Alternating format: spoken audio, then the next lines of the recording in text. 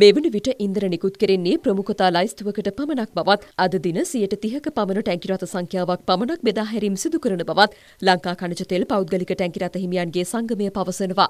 මේ වෙනකොට කනිතෙල් නීතිය සංස්ථාව මගින් ලබා දෙන ප්‍රමුඛතා ලැයිස්තුව මත තමයි ඉන්ධන නිකුත් කිරීම සිදු වෙන්නේ. ඒ අනුව අපගේ ටැංකි රටත් මේ වෙනකොට 130ක පමණ ප්‍රමාණයක් තමයි මේ ධාවනීය කටයුතු සිදු වෙන්නේ. නමුත් අපි මේ වෙනකොට බෙදා හැරීම් අංශයට දැනුම් දීලා තියෙනවා. මොකද සීලොම ටැංකි රට පැමිණීමෙන් විශාල පිරිවැයක් දරන්න වෙනවා. අපිට දැනගන්න තියලා ලැබිලා හැටියට ඉන්ධන පිරවුම් වල 1300ක් පමණ තියෙනවා.